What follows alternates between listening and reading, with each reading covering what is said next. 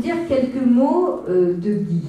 Guy, ça fait très longtemps que je le connais, puisqu'on a travaillé ensemble, on était euh, ensemble au cabinet de Martine Aubry, à l'époque du gouvernement Jospin. Et c'est vrai que Guy est un ami, c'est quelqu'un que j'ai vu euh, dans, un travail euh, à l'époque qui était quand même euh,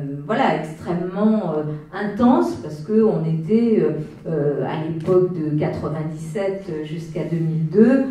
vraiment à pousser plein de gros projets qui ont quand même beaucoup transformé notre pays. Et sur les questions de famille, sur les questions sociales, Guy était un des conseillers vraiment les plus actifs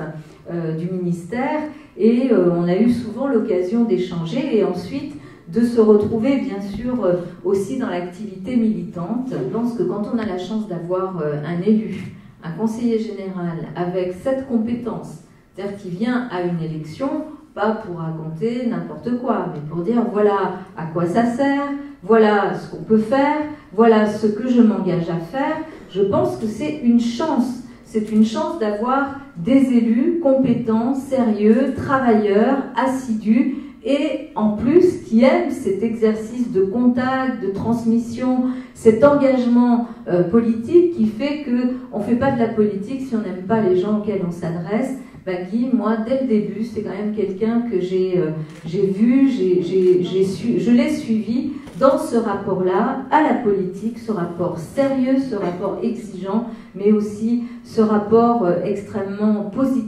et ouvert vis-à-vis des citoyens. Puis je sais que Valérie euh, joue un rôle très important dans, cette campagne, qu'elle a aussi un engagement euh, très important dans, dans le mouvement européen. J'y suis particulièrement sensible.